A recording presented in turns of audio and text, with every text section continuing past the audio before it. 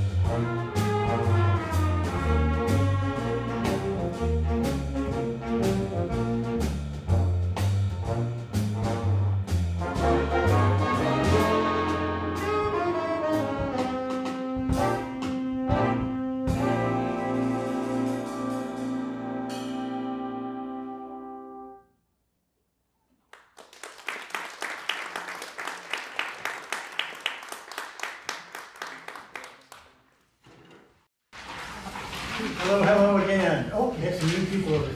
Excellent. Thank you. It is my pleasure to welcome you to here today, the audience, back to Conrad Grebel University College.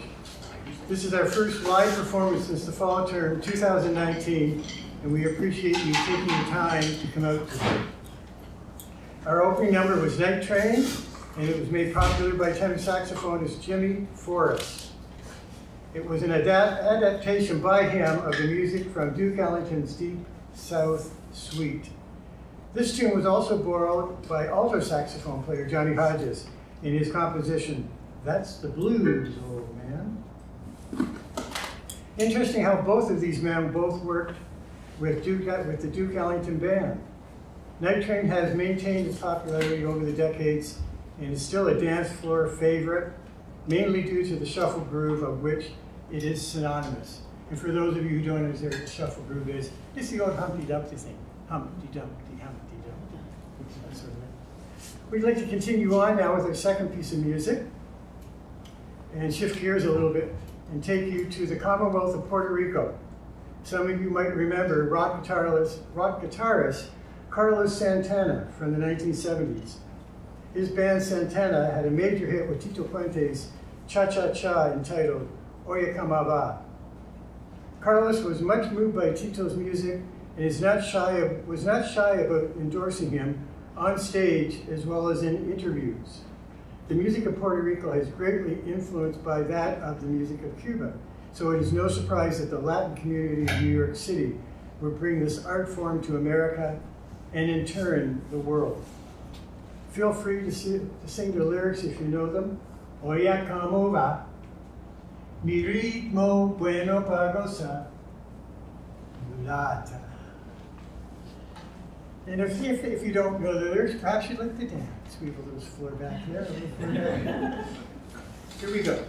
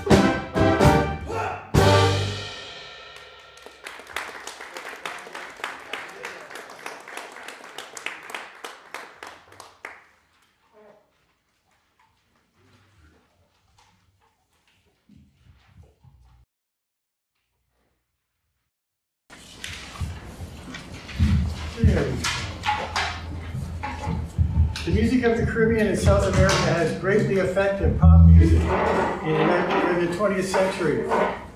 One of the bands that crossed over in the charts during the 70s and 80s was, was went by the name Spyro Gyra, whose musical contributions were heard everywhere from supermarkets, elevators, the concert stage, as well as music festivals worldwide. I myself was privileged to study with their keyboard percussionist for vibraphone David Samuels. We would now like to salute Spyro Gyra with their Latin rock selection, Soho Mojo, which was a dedication to the Soho section of, of New York City.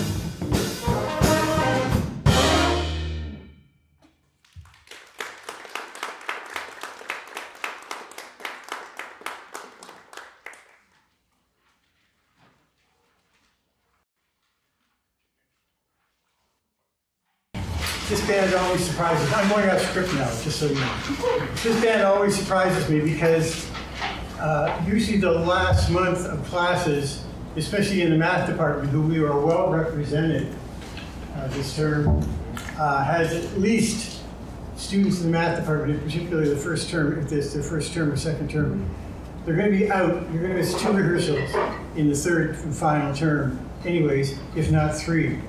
And um, so it always gets a little sketchy, especially because we started online in the first month, and then we so you basically have to take that big via rail monster train off the side track that it's been idling on, out of co- out of online, put it into the classroom, and say, okay, now we're going to apply all the things that we talked about in the last month online in a tutorial, and we're going to apply them to some pieces of music.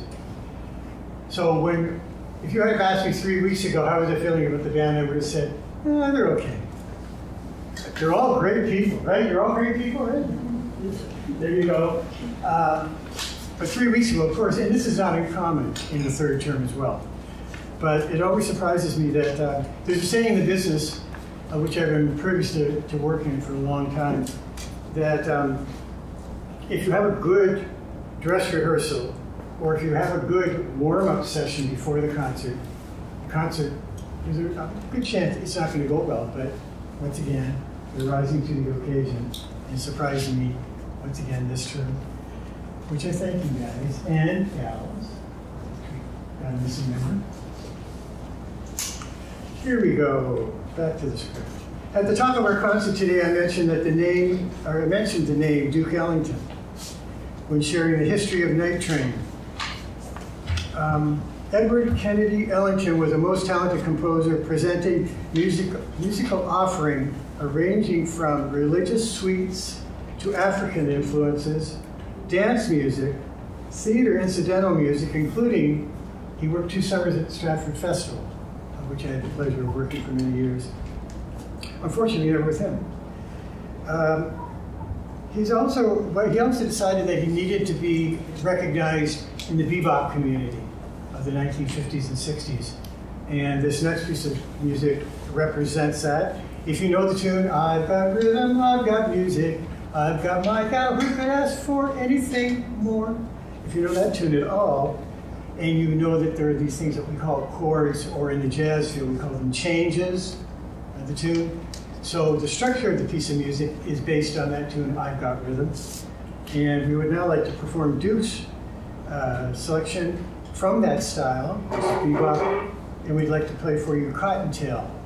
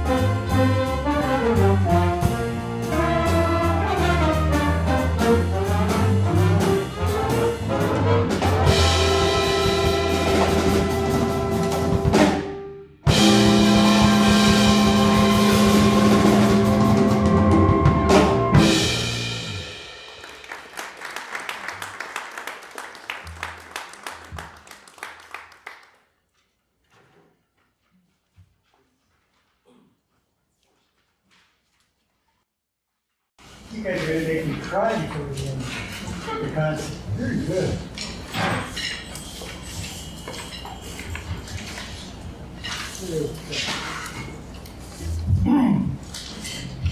I've, I've had a lot of joy in teaching this ensemble since the mid-1980s, and there is no better arranger, composer for big band music than the great Sammy Nestico.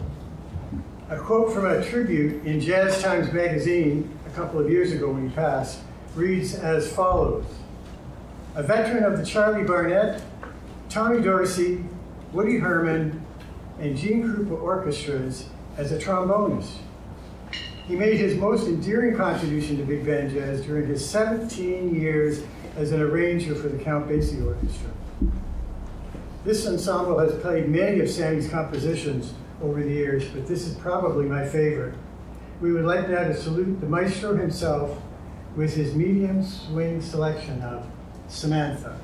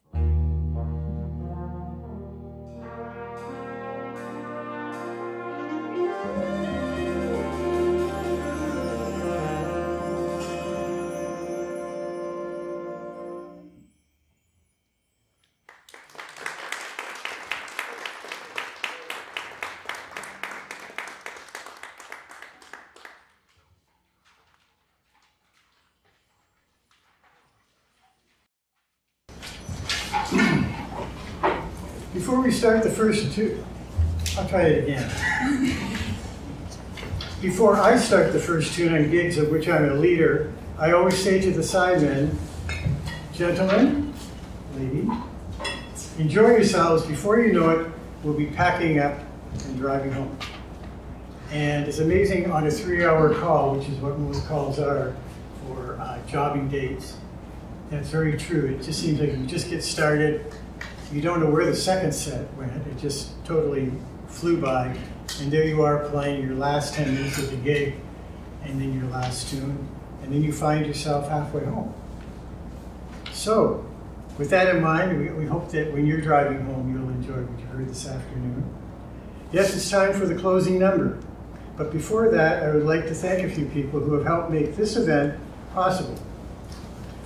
My most direct contact here at Conrad Grebel in administration is Angelica Allen music ensemble and concert coordinator.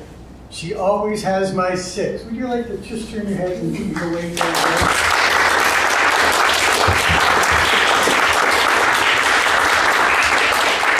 Um, we're very small. we're a very small faculty compared to other faculties across Ontario and Canada in terms of our musical contribution. But that gives us a unique opportunity to be able to foster the students if I had a, a course load where I had, say, two or three bands that I had to direct rather than just one, I could not do things like take time with the bass player or the piano player to show them different things, like things like chord voicings, talk about structure, talk about relationships in music. And that's one of the, the great things of, of, this faculty. And it carries through with the people that work here. Um, I was brought into this faculty under the um, invitation of Wilbur Moss, who passed away a few years back. And um, when I first came, I thought, wow, what a conservative bunch. And I wasn't sure whether I would stay around or fit in. And all these years later, I can't wait for the next term to start. And um, so when your child, if some of you have children in this band or attending this university, this is a really safe place. This is one of the great places on campus where students get a chance to feel totally comfortable and uh, we have a lot of one-on-one. Um, carrying on with the thank yous, Ernie Kalwa, who comes in to cover the saxophone chair whenever we need an expert ear. Mr. Kalwa, please stand up.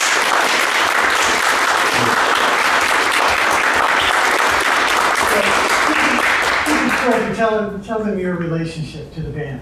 Uh, to the band. Oh, I'm a, a, a B math uh, grad with music minor way back 1987, I think. It was a year or two after Michael started uh, conducting the band. And I come back and I, I volunteer to help with the band uh, almost every term, so if I can. So. Thanks.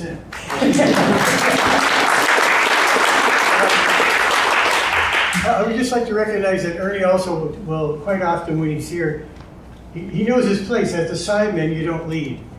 You maybe make a contribution here and there, but when he's a leader, he leads, and when he's a sideman, he, he, he's a sideman. But it's really great for, for him to, he just automatically when he comes in, he just tunes up the band. I don't have to deal with the tuning. And uh, he's the one person in the, in the sax section that I allow to talk at any time because he's always talking to these guys, giving them little hints. So, and it, Ernie also is um, an endorser of the program in that he had purchased more than one piece of music for us, as well as making donations to, to his alma mater. Uh, last but not least, um, and we have a live stream tonight. And, oh, would you like to? Yeah. Uh, so Michael has in my jazz quartet, and uh, tonight at 7 p.m. on Facebook, we're doing a live stream from from my living room in Elora. Um, a one-hour uh, concert. It's a live stream. It's not going to be recorded or anything like that. I think you can find it on Facebook. Uh, um, uh, we have a link to it, but I mean, I'm not sure. I, I can't remember the link to it right now. Uh, anyway, it's a full jazz quartet, and we're doing a concert, a one-hour concert tonight on Facebook Live. What is that? You seven? Seven. Yeah. So we have a busy day. There you go. Uh, the last thing I do is like to throw, uh, uh, say, uh, what's, what's that expression? You throw uh, uh, Left curve? No, no. It's not contemporary. Like 10 years old or 5 years. Uh, I want to throw out a shout. There we go. I want to throw a shout out to the band. Thank you very much.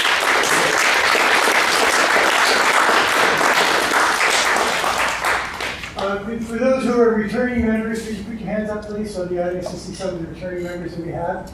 So you can see that we have a lot of newbies, a lot of brand new players. So the players that did put their hands up, some represent several terms here, others just represent one or two. Um, da, da, da, I think, that, oh, a little bit of information on Grebel.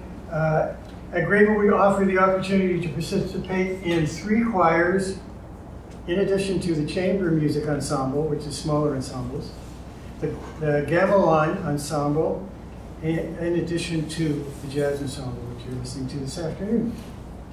This term came with its shares of challenges as we started online for the first months. Moving into the classroom, it has been rewarding for me to see these students adapt and succeed. And you should be pleased with them as well. In closing, our closing number was written by Antonio Carlos Jobim, and it's probably the pinnacle of uh, numerous tunes he has composed, including the tune Girl from Ipanema, which you may or may not be familiar with. It's probably his most popular. This piece is double the length of most charts. Most charts are only 32 bars long. So you can have two sections of 16 and 16, or you can have four sections in the tune of eight. So not, not particularly long, but this particular piece of music has double the length. Halfway through, the piece of music goes from being in the minor keys to being in the parallel major key. So what you're going to hear is a kind of a little change up in the middle of playing the, melody. The last thing I'd like to point out is that um, every once in a while I'm allowed to show my uh, editing skills in, term, in terms of adapting. And I really didn't feel like the trombones had enough exposure in the band because this music is not normally written with a trombone feature. So we have both the lads picking up the head tonight, or what we call the melody. Um, Mr. Ethan playing the C minor part, and Ian playing the C major part. We hope you'll enjoy it. It's called Chega de Saudade, and for some of you who don't know that title, maybe you know it as the tune No More Blues.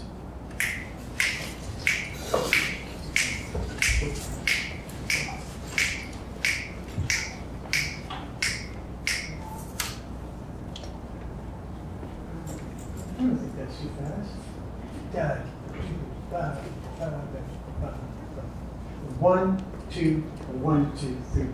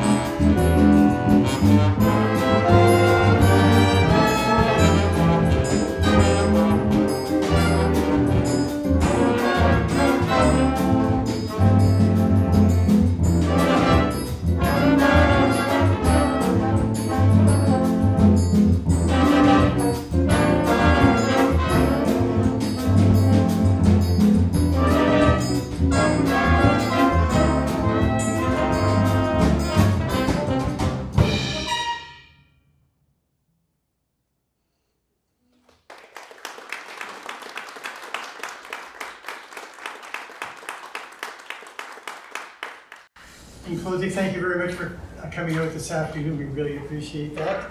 Um, A little personal note, uh, I perhaps started that a little too fast. So without, I apologize to the.